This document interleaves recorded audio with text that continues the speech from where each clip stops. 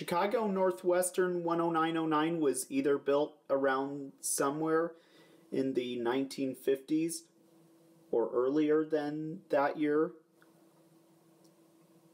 and is a steel bay window caboose and Chicago Northwestern 10909 was used on freight trains on the Chicago Northwestern Railroad and was also used as the train crew's office and is one of many Chicago Northwestern cabooses used on the Chicago Northwestern Railroad as well.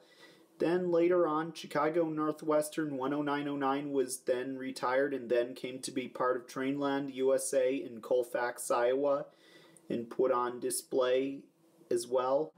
And the car is even used for birthday parties as well.